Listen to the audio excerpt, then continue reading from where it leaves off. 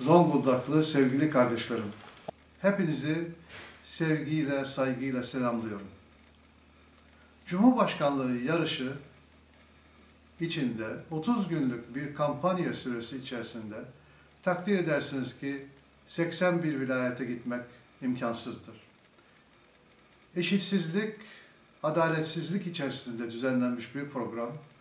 Bir taraftan devletin bütün imkanlarını kullanmak, açılışlar yapmak, muazzam paralar harcamak suretiyle bir aday yarışırken bizler çok mütevazi bir katkıyla yarışmaya mecbur kalıyoruz. Ben isterdim ki sizin de ilinize geleyim, sizlerle beraber olayım ve beraber bu seçim heyecanını beraber paylaşalım. Ama ne yazık ki bu mümkün olmuyor.